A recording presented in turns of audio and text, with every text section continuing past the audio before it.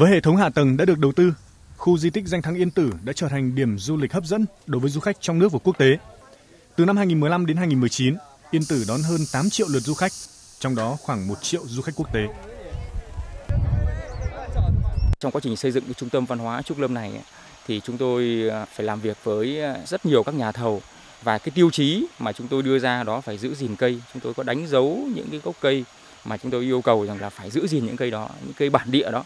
Sau khi mà công trình xong rồi thì chúng tôi lại trồng thêm những cái cây đó, những cái cây bản địa đó để để để cho nó nó nhiều hơn, cho nó dày hơn để cảm nhận như là rừng nó đang đang đang đang tràn vào cái công trình. Giữa con người với công trình nó hòa quyện vào nhau công trình được cây cối che chở và con người cũng được thiên nhiên ờ, bao bọc. Nhiệm kỳ 2015-2020 nhiều điểm du lịch hấp dẫn được đầu tư nâng cấp như khu du lịch Hồ Yên Trung, Thác Lượng Xanh, hình thành nhiều công trình thương mại hiện đại đồng bộ, góp phần thúc đẩy dịch vụ thương mại phát triển.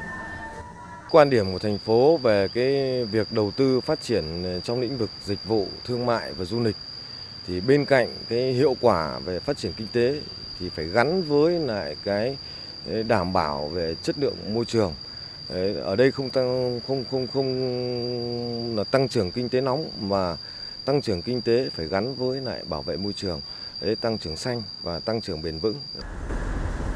Thành phố Uông Bí cũng quyết liệt trong xử lý các vấn đề gây ô nhiễm môi trường, nhất là ô nhiễm do hoạt động sản xuất, vận chuyển than để tạo điều kiện phát triển dịch vụ du lịch. Trong đó đã chuyển từ vận chuyển than bằng ô tô trên các tuyến đường nội thị sang hệ thống băng tải kín. Những năm vừa qua thì thành phố Uông Bí đã làm quyết liệt để công tác môi trường. Từ đó thì đã tạo ra một cái môi trường sống rất lành mạnh cho nhân dân và để tạo cái sự đồng thuận, cái sự tuyệt đối tin tưởng vào Đảng và sự lãnh đạo của chính quyền. Trong nhiệm kỳ qua, tốc độ tăng trưởng kinh tế của thành phố Uông Bí đạt bình quân 13,12% một năm, cao hơn mức bình quân chung của tỉnh. Tỷ trọng của khu vực dịch vụ từ 39% năm 2015 tăng lên 44,3% năm 2019.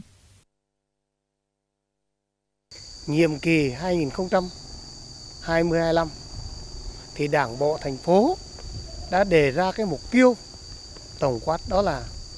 tiếp tục công tác xây dựng Đảng, xây dựng hệ thống chính trị trong sạch, vững mạnh, bộ máy hoạt động hiệu lực hiệu quả, khơi dậy các tiềm năng lợi thế, huy động tối đa các nguồn lực để tập trung phát triển kinh tế xã hội nhanh, bền vững theo hướng nâng cao cái tỷ trọng thương mại dịch vụ, chuyển dịch cơ cấu theo hướng từ nâu sang xanh, à, nâng cao cái đời sống vật chất và tinh thần của người dân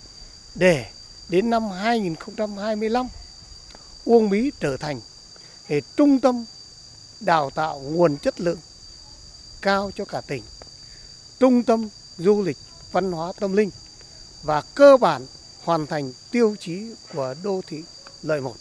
Những kết quả tích cực đạt được trong chuyển đổi phương thức phát triển từ nâu sang xanh ở nhiệm kỳ 2015-2020 là cơ sở để thành phố Uông Bí tiếp tục thực hiện các giải pháp mới, xây dựng nền tảng vững chắc cho nhiệm kỳ tới.